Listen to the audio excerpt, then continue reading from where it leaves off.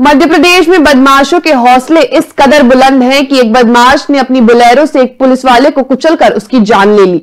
ये बदमाश पेट्रोल भरवाकर बिना पैसे दिए भाग रहा था और जब एएसआई नरेश शर्मा ने उसे रोकने की कोशिश की तो इस बदमाश ने उनके ऊपर गाड़ी चढ़ा दी। गुंडागर्दी की यह दिल दहला देने वाली घटना परासिया की है। न्यूटन क्षेत्र के पेट्रोल पंप से पेट्रोल भरवाकर बिना पैसे दिए परासिया पिपरिया मार्ग से भाग रहे बदमाशों ने महुल झीर के पास चेक पोस्ट पर तैनात एएसआई नरेश शर्मा को अपनी गाड़ी से कुचल दिया। गंभीर रूप से घायल एएसआई नरेश शर्मा की इलाज के दौरान मौत हो गई। इस बदमाश को पकड़ने के लिए ही महुलझुर थाने के पास एएसआई नरेश शर्मा और उनकी टीम ने चेक पोस्ट लगाया था। लेकिन पुलिस को देखते ही आरोपी चालक ने बुलेरो की रफ्तार और तेज कर दी। गनीमत ये रही कि हादसे के बाद बदमाशों को हिरासत में ले लिया गया है। एसपी ने बताया कि आरोपी के खिलाफ हत्या के प्रयास का मामला दर्ज किया गया। इस मामले में मुख्यमंत्री डॉक्टर मोहन यादव ने शहीद एएसआई के परिवार को एक करोड़ की आर्थिक सहायता देने का ऐलान किया है। जिला छिंदवाड़ा के थाना माहौलजर में आज सूचना सुबह के टाइम प्राप्त हुई थी कि न्यूटन चौकी से कोई गाड़ी बोलेरो कैंपर एक्सीडेंट करके फरार हुई है।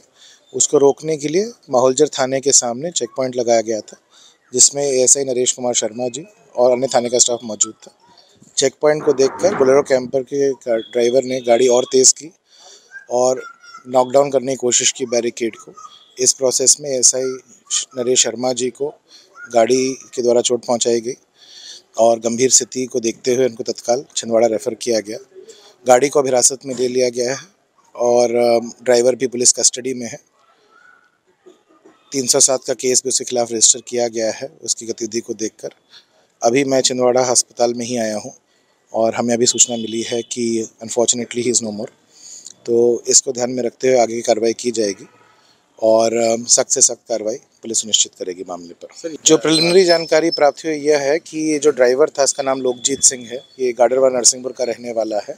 बोलेरो कैंपर गाड़ी लेकर ये न्यूटन चौकी के पास पेट्रोल पंप में डीजल डलाने गया था। बिना पैसे दिए वहाँ से भागने की कोशिश कर रहा था जिस प्रोसेस में वहाँ भी किसी को चोट पहुँचाई। और उसी की सूचना जो प्राप्त हुई थी माहौल जर में उसी को हिरासत में लेने के लिए ही चेक पॉइंट लगाया गया था। तो और उसके बाद ही बाकी का घटनाक्रम हुआ।